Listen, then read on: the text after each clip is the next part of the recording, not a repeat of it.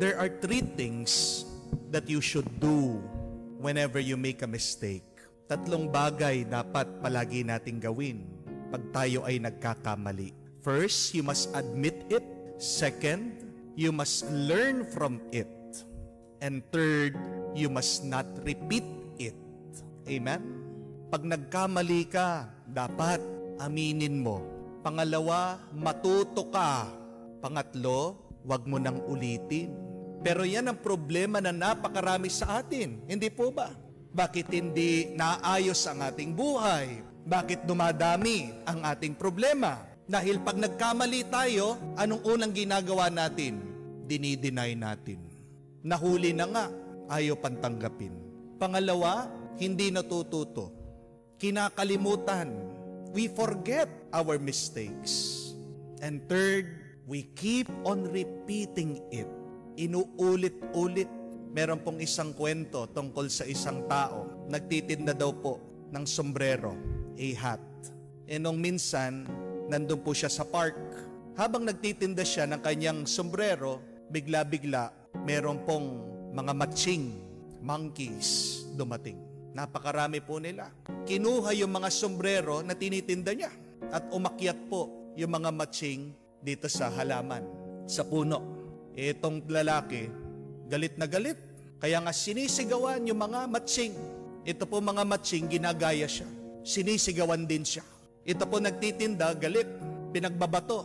Ito mga matching. Yung mga matching, kumuha ng mga bunga ng puno, pinagbabato din siya. So, out of frustration, hindi na po alam kung anong gagawin nitong lalaki. Kinuha niya yung kanya sombrero at hinagis niya sa lupa. Galit na galit. Ito po mga matching nakita nila, ginaya nila itong lalaki. Kinuha nila yung mga sombrero, itinapon din nila. At nung nasa lupa na yung mga sombrero, kinuha na noong lalaki. Years after, ilang taon po ang nakalipas, nagkaroon po ng apo itong lalaki. Nagtitinda din na sombrero. At napadaan din po doon sa park. Habang nagtitinda, meron din mga matching na dumating. Ninakaw din yung mga sombrero tinitinda. Alam na po nitong apo. Kaya nga niloloko-loko pa yung mga matching. Nagsayaw-sayaw. Ito pong apo, nagsayaw-sayaw din yung mga matching. At pagkatapos po niyang niloloko yung mga matching, para mabitawan nila yung mga sombrero na tinitinda niya, ginawa niya, yung sombrero niya, inihagis din doon sa lupa. Alam niyo pong ginawa ng mga matching? Bumaba po yung isang matching, kinuha yung sombrero na tinapon niya. Tapos sinampal pa yung bata, sabi, ano sa tingin mo? Kami din naman may lolo, no? Sabi nila.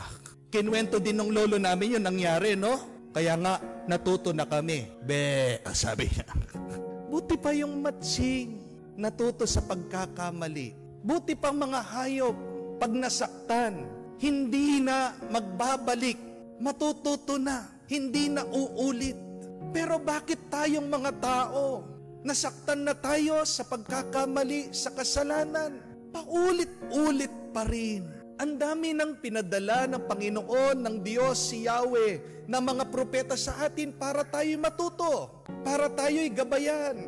Sinasabi sa mga pagbasa, si propeta Elijah, siyang marangal na propeta, nagpakita pa ng milagro ng apoy ng galing sa langit para patunayan ang ating Diyos, si Yahweh, siyang totoo, ang mga Diyos-Diyosan hindi totoo. Pero hindi pa rin natuto ang bayan ng Diyos.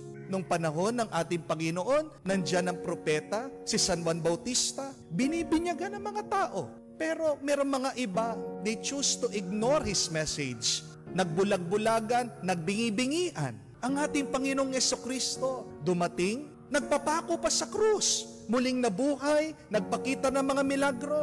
Pero anong ginawa ng mga tao? Binabaliwala pa rin. Patuloy pa rin sa paggawa ng kasalanan. Di po ba yan yung nakakalungkot na katotohanan? May pagkakamali, may tumutulong na nga sa iyo para magbago ka. Sige ka pa rin ng sige, pabalik-balik, hindi natututo. Pero kailangan po natin tandaan ito. We will be judged by how we correct our mistakes. We are not judged by our mistakes, but we will be judged by how we correct our mistakes. We will be defined by how you straighten your life, how you learn from your wrongdoings. Di ba? Kahit naman po ang isang asawa, isang mister, sabihin mo na, babaero, maraming bisyo. Pero pag yan natauhan, nagbago, naging tapat, di ba? Mamahalin pa rin siya ng misis niya at matatandaan pa rin siya bilang isang mabuting asawa. Amen? Di ba? Kahit naman po sa mga nagninegosyo, nalugi sila, marami man silang napagkautangan, pero pag sila'y nagpursigi, binayaran nila ang kanilang mga utang, bumawi sila, nag-bounce back sila, at napalago nila ulit ang kanilang business. Maaalala pa rin sila bilang isang matagumpay na negosyante. Kahit naman po ang isa nag-aaral, kahit na palaging palakol ang kanyang grades, bumabagsak. Pero kung talagang ibibigay niya yung kanyang sarili, mag-aaral, at pagdating ng graduation, makakakuha ng medalya, valedictorian, maaalala pa rin siya bilang isang mabuting estudyante. Sino ba sa atin ang hindi nagkakamali? Lahat po tayo may pagkukulang, nagkakasala. Pero ang importante, ang mahalaga, sana matuto tayo, sana baguhin natin ang ating sarili. Because we will be defined, we will be judged, not by our mistakes, but how we correct our mistakes.